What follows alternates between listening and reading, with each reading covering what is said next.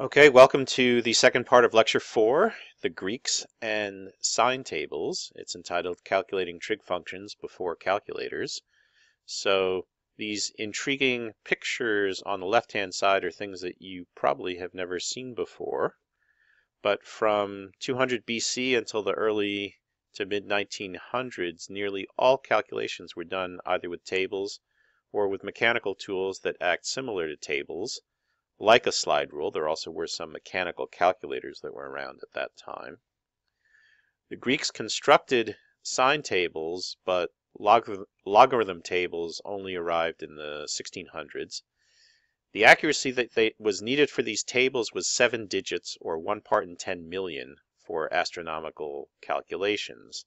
And that's a incredibly severe number of digits that is needed if you can imagine trying to do calculations of a square root or other things like that by hand with seven digit numbers and achieving seven digits of accuracy with your final answer. In principle, it can be done, but it's going to be torturous, tortuously tedious to get through all of those kinds of calculations. Now, while it was difficult to generate these tables, they were really a key to science and technological advances because without them it, be, it was virtually impossible to do the complicated calculations that were needed to actually determine things like what was the orbit of Jupiter, including all the perturbations from the other planets, or how do I determine the tides, or how do I make sure my steam engine doesn't explode on me, and so forth. So objects like the slide rule, which use these ideas in a mechanical way, they were very popular because they were very easy to use, but they weren't incredibly accurate. Probably two, three digits of accuracy is about all you could get out of them. And they became completely obsolete once the calculator really made its entrance because the calculator was able to give eight digits of accuracy with uh, no problems whatsoever. Now constructing a sine table is difficult, but it was done over 2,000 years ago, so it is worthwhile to see just how the Greeks actually did it. And in the lower panel, that is a picture of what a sine table would actually look like. And so let's go through the details of exactly how we make one. The Greeks only knew two things about sines and cosines, but you can do a lot with these two things that they knew. They knew Archimedes' result, which allows them to find the half angle, or sine of x over 2, if they knew what sine x was.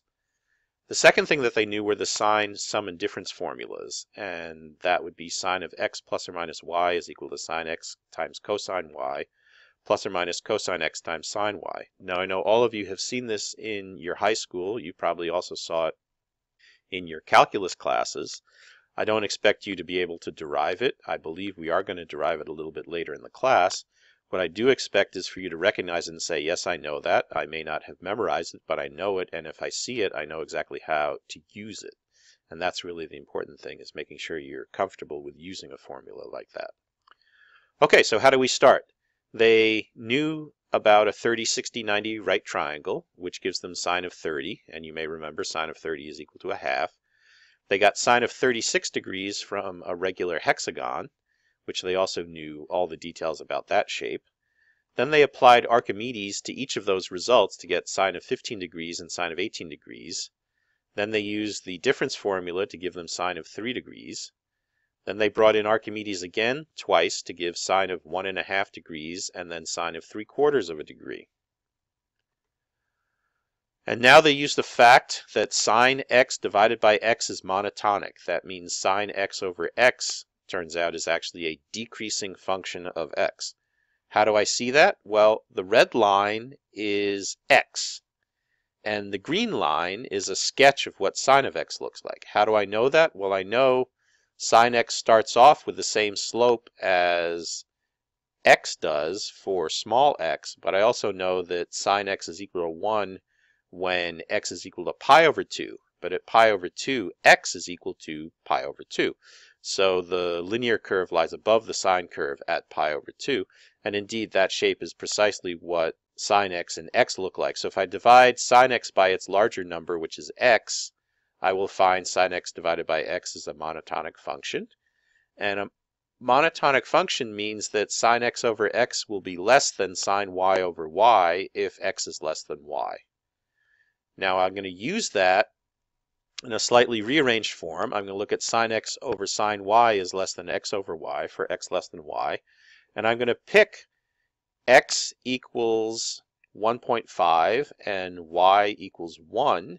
And I'm going to rearrange that formula to learn that 2 thirds of sine 1.5 is less than sine 1. And I'm similarly going to do the same thing with x equals 0.75 or 3 fourths and y equals 1. And there I'm going to learn that sine 1 is less than 4 thirds of sine 0.75. Please take the 10 seconds that it takes for you to verify that indeed those are the two correct formulas that you will get by noting that sine x over x is a monotonic function. Okay, so we have learned these two identities that brackets sine 1 in between two values, and I can actually evaluate those values because I already got them. And what you find is 0.0174513 is less than sine 1 is less than 0.0174527.9. This is going to give me sine 1 to 5 to 6 digits of accuracy. And then we bring in Archimedes and use it one more time to get sine of 0.5 degrees. And that is the starting point for the table. We then use the sum formula to get sine of 1 degrees, sine of 1.5 degrees, sine of 2 degrees, and so forth, all the way out to 45 degrees. That's as far as you need to go to get all of the values for sine because you can determine the other ones through trigonometric relations. And that's how the sine table was generated.